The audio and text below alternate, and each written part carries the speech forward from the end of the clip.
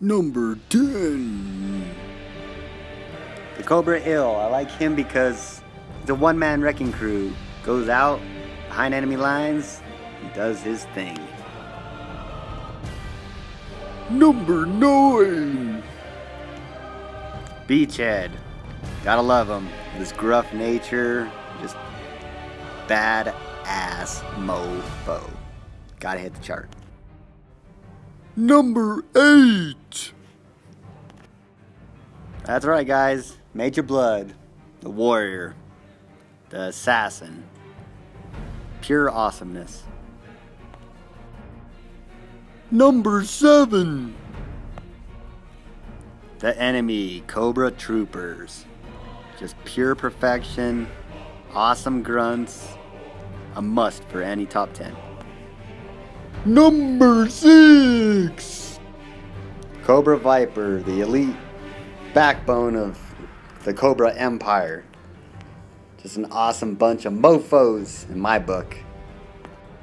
Number 5. Ah, Cobra Commander at number 5.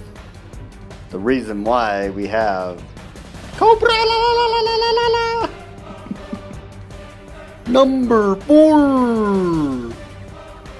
Snake Eyes, the infamous G.I. Joe Ninja.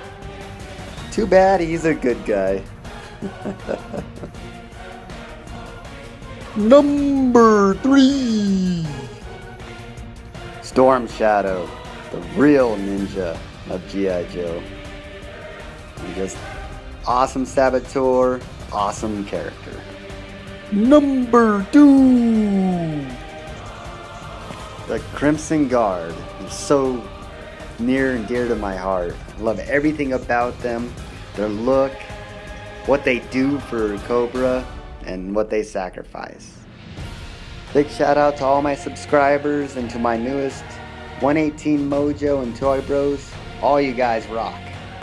Number 1.